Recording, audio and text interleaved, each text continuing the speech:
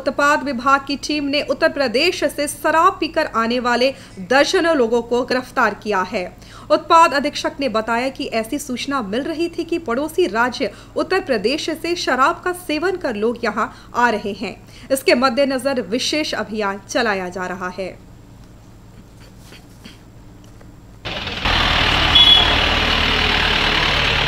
हाँ इधर उत्तर प्रदेश के शराब पीकर आने वाले लोगों के लिए ये अभियान चल रहा है से चेतावनी है कि जो शराब पीकर आएँगे उनकी कोई खैर नहीं रहेगी पूर्वी चंपारण